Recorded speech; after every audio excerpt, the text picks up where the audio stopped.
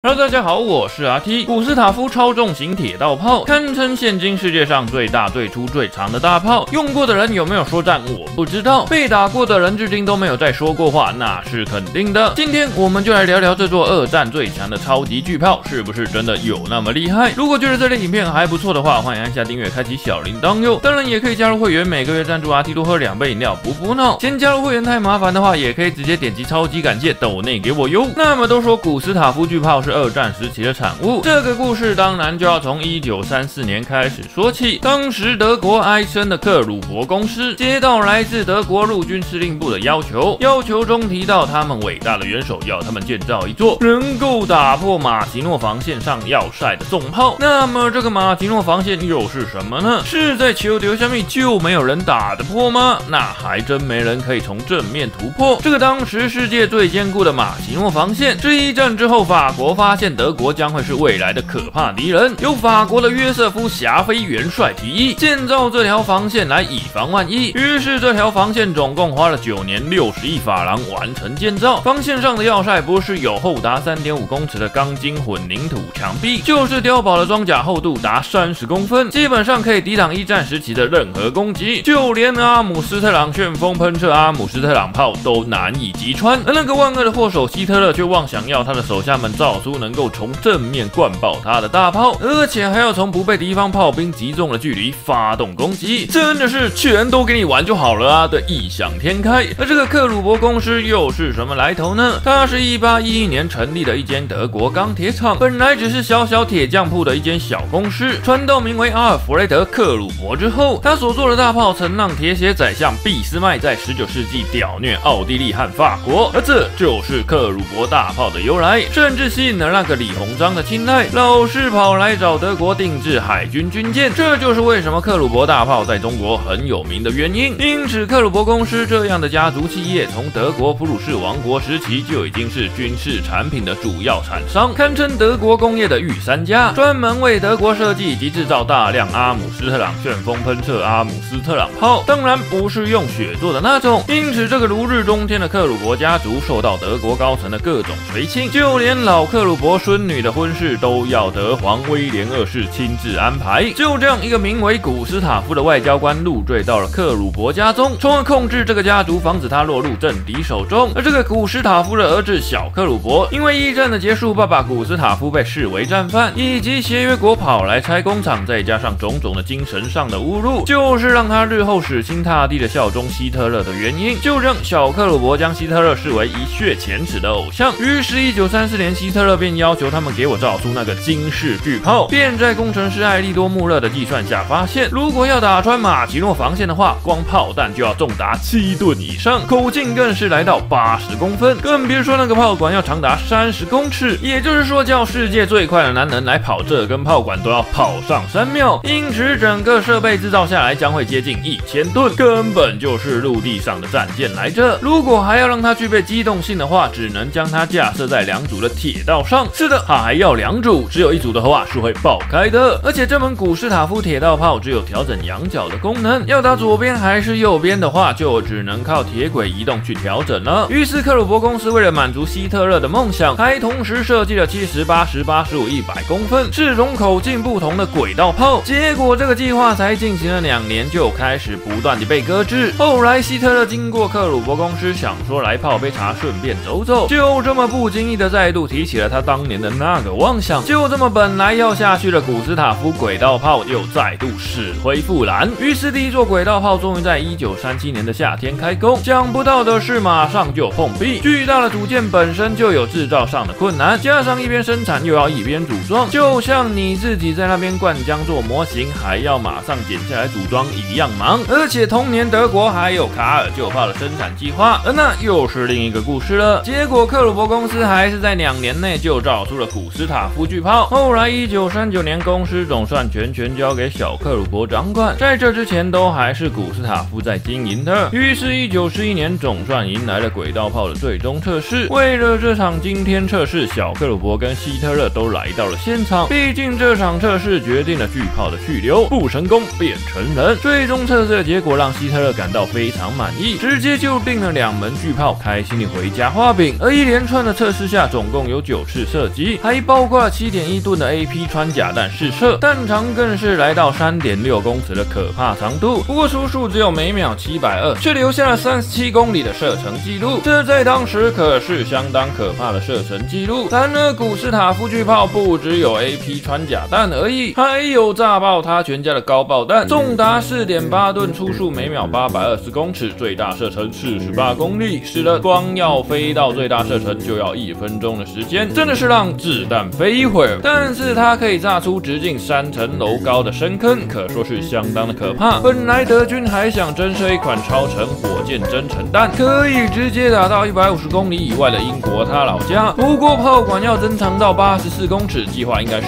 夭折了才是。而古斯塔夫轨道炮的命名就更不用我说了，都是为了致敬他们伟大的公司领导古斯塔夫克鲁伯。后来克鲁伯公司将第一座轨道炮免费送给德。国陆军看他们赚的有多么盆满钵满，一门怪物级巨炮居然直接免费白送，第二门就跟军方要了七百万帝国马克，当时跟美金的汇率是一比四点二马克，那可是相当可观的一笔数字。更将第二门炮命名为朵拉，也就是现任董事长小克鲁伯的老婆之名。殊不知轨道炮生不逢时，计划总是赶不上变化。德国早在一九四零年，一个出其不意从阿登森林高地。应声突破马奇诺防线，传说中的闪击战就此展开。还直接从后方包抄英法联军，将联军的四十万大军团团包围在敦刻尔克。所幸敦刻尔克大撤退相当的成功，不然现在的历史就要完全改写了。那么马奇诺防线都被突破了，古斯塔夫巨炮还有搞头吗？当然有搞头。希特勒非常的喜欢这门炮，还是在一九四二年把它拿出来耍耍，千里迢迢将它送往克里米亚战场。光是运炮的列车就长达二十五节，整整有一英里那么长。当时等平交道的民众应该都等到灰蓝趴火才是。光是要让这门炮到达目的地，从动身到组装发炮就花了三个月之久。而古斯塔夫轨道炮响起的第一声雷鸣，就是为那场塞瓦斯托波尔战役做暖身用的。而这个位于黑海的塞瓦斯托波尔要塞，乃当时苏联的重要海军基地，易守难攻。这场围城之战打下。下来，德国大量的重型迫击炮都来到了这里，当然，就连刚刚提到的卡尔旧炮也来到了现场。德国将此夷为平地的企图势在必行，而古斯塔夫轨道炮总共发射了四十八发，更将膛线全部磨光，射烂了苏联的海岸炮，击穿史达林堡垒，灌爆莫洛托夫堡垒，还为了击穿位于塞文纳亚湾里海平面底下的弹药库，总共射击了九次，才终于成功地将苏联的弹药库炸了个底。朝天，后来还射爆了西伯利亚堡垒跟马克沁高尔基堡垒暗防炮阵地，可说是战功卓卓，几乎将苏联的塞瓦斯托尔市射成了一片废墟。而第二场则是在现今俄罗斯的列宁格勒。一九四二年底，德军才将轨道炮组装完成，就收到了高层取消进攻的命令。才过完年，古斯塔夫轨道炮就又被收到了盒子里面，再也没被用过。同年，朵拉巨炮也被叫到了斯达林格勒。就就在他组装好准备开炮之际，又被迅速的拆除撤离，全都是因为苏联的军队即将完成战略性包围，史称“天王星行动”，一场把德军包成智障的史诗级行动。最后，朵拉重炮虽然成功回到德国，但是却受到了严重的损坏，而遭到德军抛弃。再来便被抵达的美军发现这巨大的可怕怪物。后来，一九四五年，德军节节败退，为了不被苏联夺走古斯塔夫轨道。后德军逼不得已，只好亲手炸了这个酷酷的玩意儿。两门惊天巨兽也就从此画下了句点。后来甚至还有人异想天开的想在战车上搭载这门古斯塔夫巨炮，史称 l a n d k a s h a P 一千五百 Monster。但这是一个从成本考量就完全被否定的计划，最后只留下几张设计图而已。要是他真的被造了出来，那台德国超重巨兽鼠式就真的成了一台小老鼠了。那么今天的故事就到。这边，如果您还想了解更多二战的战车，就一定要去下载这款《射出去战车世界》。这是一款飞图 n 的史诗级战车游戏，大大小小、历史留名直到二战的战车，不管是日本战车、美国战车、德国战车，都应有尽有。当然，也包括了刚刚提到的。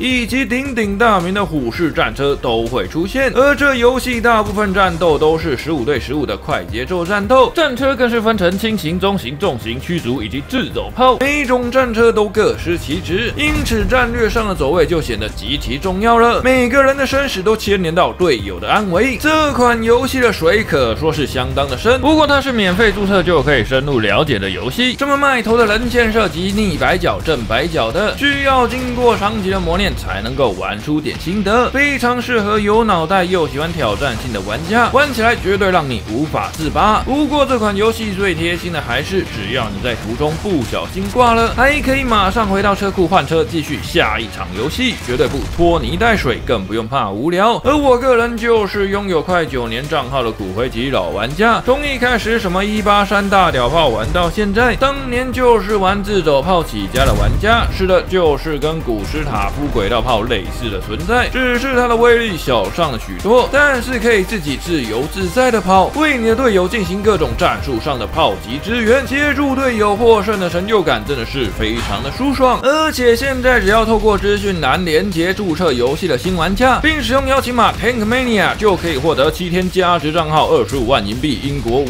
阶重型战车 e x o s i a r 以及三辆六阶租用加值战车可以使用。还不快一起来战车世界射！爆全场！我是 RT，战车永远是男人的浪漫。我们下次见，拜拜。